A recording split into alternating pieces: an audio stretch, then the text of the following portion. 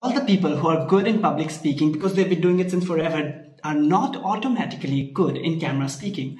Camera speaking is a whole different skill. And in today's world, camera speaking is a very highly paying skill as well because the world has changed. So I highly recommend it. So this is my number one strategy for you to develop your camera speaking confidence. Choose one friend. This could be your best friend or your girlfriend, boyfriend, whoever you spend three to four hours chatting on WhatsApp. And your goal is to hold your phone in front of you and you have to send that person five video messages in a day. That's it.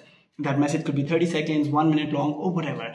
You can update about your day or talk about anything that you usually talk. Just like when you do riyaz every day, even for 10 minutes, your singing starts getting really better. This will help your mind think structurally while the camera is on. And before you realize, you will start enjoying it. Your confidence will go up and you will start contributing more in the Zoom classes. You'll start making more Instagram stories and it will take your confidence to a whole different level. Try it for 30 days and let me know.